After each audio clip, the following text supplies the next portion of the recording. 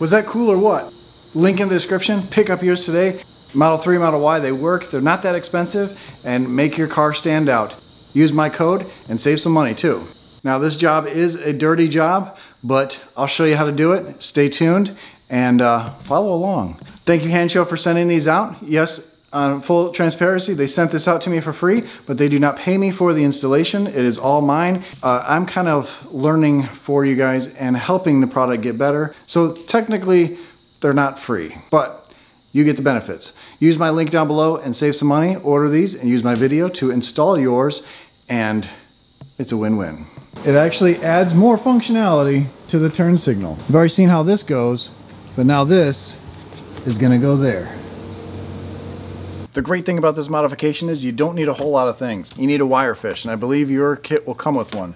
Mine's one of the first ones, so mine doesn't have it, but that's fine. I just use a uh, 12 gauge wire that you would use in your house for electricity. So you probably have that. Electrical tape, and some pry tools. And that's what we're gonna use to pry the light off, and I'll show you that in a second. I've got a couple other things, like I've got this little pry tool, it's a hook thing that I'm gonna try to use. Um, but what's really great about this is it's a, a, direct replacement. So there's two little tabs that you use to that you pry this off with, and then there's a hole in the middle of the factory one that you're going to run this wire through you're going to attach the wire up to the tail lights and you're just going to pigtail. Whether you have their custom tail lights where they make all sorts of animations or not, you're just going to take this. This is a uh, male and a female. You're just going to plug it in. This is just going to be a jumper. So you're going to take the turn signal and the brake line signals and run them to this, which go to this and we just have to feed this through. There's a vent inside the bumper area, I'm gonna show you that, and we're gonna pop it through using the wheel well. It's really, really easy. The hardest part is getting this off without damaging anything and that's what we're going to do first. But before you go too far into this, before you start popping these off, uh, test these, plug, just pull the plastic away from here and um, plug in one of the lights like I have here, like I showed you in the very beginning of the video, and test them to make sure they work. That way uh, you'll be all set and that way you, you don't go too far and then something doesn't work. First things first, we're going to remove this light and it's really not very difficult. They show in their directions to wrap this in electrical tape so you don't damage anything. I don't think that's really necessary because you're this is into plastic. The Model 3 goes where there's paint and that was where you would want to wrap it. So this is just into plastic. Shouldn't be too big of a deal. The reason I love this product is because I backed into a tree off-road, slid in some clay and uh, damaged my tailgate, but also cracked this light. So this is going to be perfect. A replacement of the light plus it adds functionality to the car. We're going to start with this pry tool and try to get in there. There's not much room. That's why I like this little hook thing. I'm going to be able to get right in there on the back half and pull. And I can use that to get the pry tool behind it.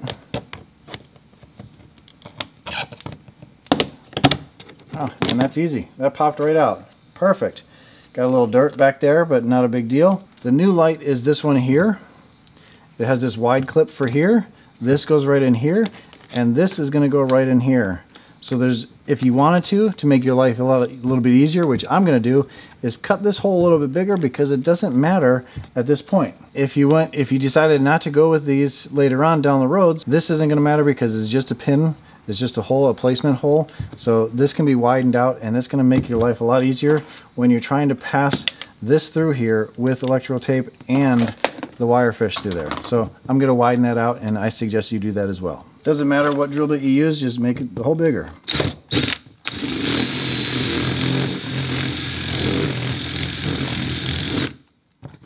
The main reason I want this hole bigger is you can see right behind it is this aluminum brace. That is the crash bar, and that's really high up in the Model Y. In the Model 3, I think you'll have a little bit more room back there. Later on, we're going to end up taking this wire fish and feeding it right along there, and there's not that much room. So um, this is, I think this is critical for the Model Y. The Model 3, I think you'll have plenty of room. Next step is to pull this plastic back. Not much is holding it, just this. You need to unplug the light. I don't know, can you see that? No, everything's blurry. You need to get back in here and unplug the light. And I have a lot of stuff back here, but you need to unplug this light uh, housing right back here. That's where you're going to plug this into. And then this goes down and feeds in through that vent. Let me show you that vent. But before you can get back there, this needs to come out farther because that vent is right over here. So you just have to remove the cover. This plastic piece just lifts up.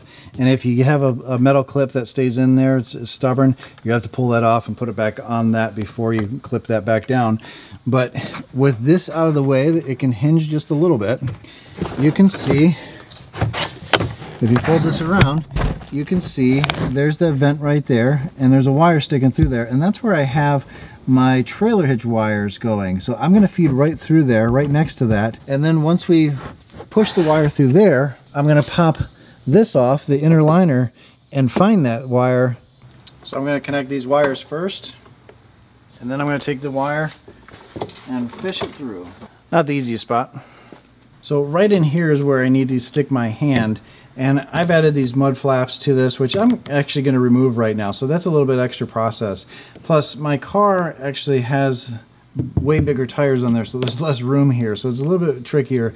But once I remove these, I can pull this, um, I can pull this plastic off.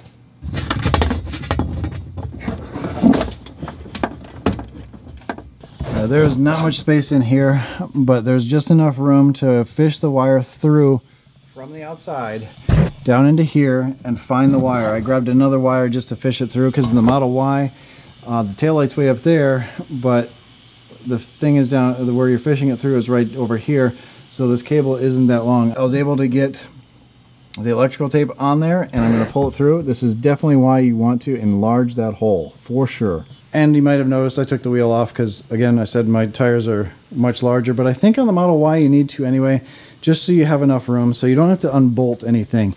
I think if you undid these right here and dropped this a little bit, you'd have a little bit more room, uh, but then you're getting into some major things. It's really not that hard to take the tire off, but you could do this without doing that as well. Uh, I just haven't found a better way. Maybe I'll find out on the other side.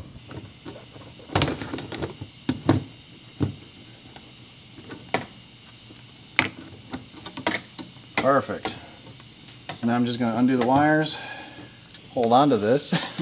These are color coded so you can't you can't do them wrong. And before this goes in, I'm going to double check this side. Good thing I checked because this is working, but my tail light's not working. So I've got to flip that wire. There we go. Now that's working and this is working. Inside, back in there, it's hard to see which way you actually connect the wire, but it only works one way, as you can see. I'm gonna put electrical tape around this, feed this through, and you know, I'm gonna wipe this out a little bit. Since we made this hole bigger, I don't have to worry about staggering these joints. They'll fit right in there. They'll stay together. Fish the wire back through. And Perfect. Perfect. A little better visibility on this side. This is the wire here. It runs all the way into the vent and out the outside. All right, this is super, this, this side was not that easy. This is the passenger side with a, with a hole for the tow hook. I took this tow hook out and I was able to fish the wire through here better and then fish it up in here. Uh, you, what you want to do is connect a wire to run through the inside of the car down inside, catch that, uh, catch that wire through there, and then run a fish down this way and then pull it back this way. Uh, just be careful to not pull these apart. Now mine, mine pulled apart here, but it's really not difficult to put back together. What I'm gonna do, so I know which is which and how they go together, I'm gonna attach, I'm attach the other end to where it goes, then I can line up the uh, wires and then they'll, they'll slide right in. If it doesn't slide in, it goes the other way. And those kind of lock into place. We're going to tape these together. And actually, we're going to do this right now. I'm hooking these up. So these are hooked up. And if you're wondering, yes, it did get dark pretty quickly here. It is like almost 8.30. And the sun is set.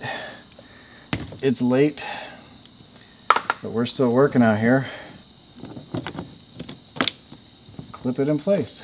So this is definitely a dirty job. Well, on my car anyway, my car's probably dirtier than most. I wanna say it's doable. Uh, it's not something you don't wanna try, I don't think. Again, it is doable. It's just harder to reach in the Model in the Model Y. Just the way that vent comes out, it's hard to get in there. The Model 3 from their video, I'll have a link to their video down below. Uh, it looks a lot easier to do in the Model 3 because the tail light isn't so far away from that light. And possibly the newer ones, it's even easier. Mine's a very early edition, so maybe the Chinese ones, they're a little bit easier to get back in there. But hey, I got it working. You wanna see it? Well, you already saw it earlier in the video, but you wanna see it now in the dark?